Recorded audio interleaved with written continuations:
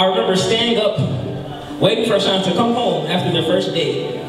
I remember him running home to tell me that they began to use the L word. But most importantly, I remember watching the two of you fall in love.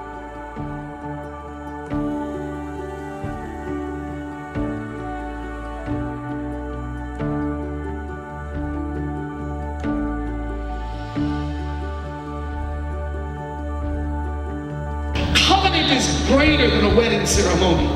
Today, we seal the back door, we mud and tape it over, and we put you all in the room called covenant, and you'll never be able to find where the back door is again.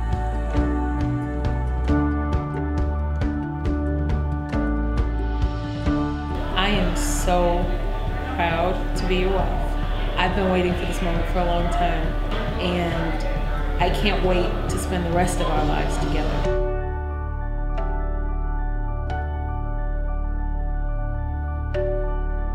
It is my privilege to pronounce they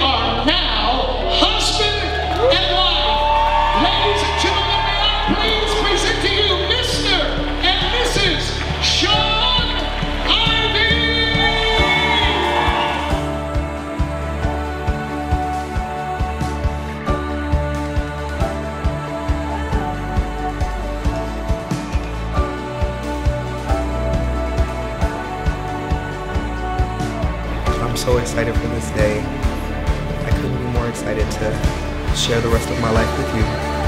From the first time that I laid eyes on you, your servant's heart is what drew me to you. It's what made me love you.